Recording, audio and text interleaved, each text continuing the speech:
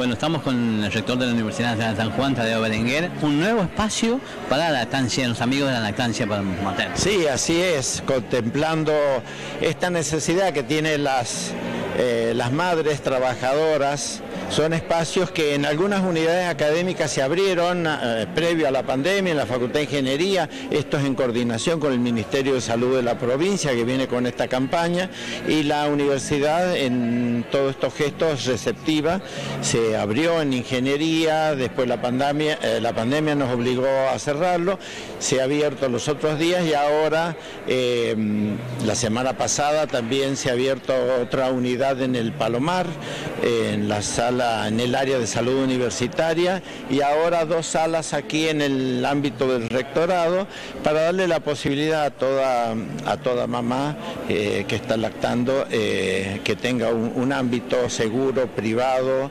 eh, para poder realizar esta tarea tan importante que es ser mamá. También van a entregar desfibriladores. Sí, sí, sí. todo vinculándonos en mejorar el bienestar en todos los aspectos de la universidad. La salud es fundamental y un desfibrilador es fundamental para un, un infarto, un preinfarto, así que se ha hecho una importante inversión para distribuir y colocar en cada edificio, no es unidad, edificio de la universidad, un par de desfibriladores para poder atender esta, mm, esta importante demanda Dicen que cada minuto que se pierde en un infarto se va perdiendo muchas posibilidades de vida. Bueno, esto lo queremos atender acá. Así que bueno, en estos momentos vamos a entregar a todas las unidades académicas de fibriladores que han sido adquiridas a través de relevamientos y sugerencias de salud universitaria de la universidad. ¿Cómo está la universidad hoy, Tadeo?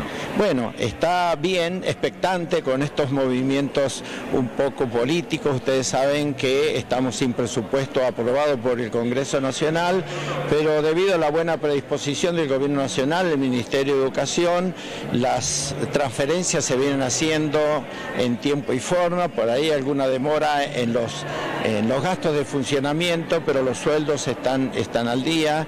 Eh, y bueno, em, es una, una propuesta y un compromiso de que aquel presupuesto que fue elaborado y no aprobado es el que se está manteniendo eh, y bueno, esperamos debido al proceso inflacionario que tenemos, seguramente de aquí a fin de año tendrán algunas readecuaciones de partidas. ¿Cómo avanza la escuela de música? La escuela de música avanza no con el ritmo que queremos porque, por ejemplo, este problema nos está afectando. Si bien ya vemos avances, porque hay tareas internas que han llevado mucho tiempo, pero mm, lo que estamos eh, mm, tratando de arreglar es que el presupuesto que fue presentado y con el cual la obra se reinició por cuarta vez eh, fue un presupuesto elaborado allá por mayo del año pasado. Está totalmente, entonces hay un proceso permanente mensual de readecuación de partidas. Eh, si bien la empresa viene cobrando lo del viejo presupuesto, pero la readecuación de partidas está demorando un poco, por lo tanto la empresa ha tenido que demorar un poco sus tareas debido a la falta de presupuesto. Gracias, Tadeo. Gracias a usted.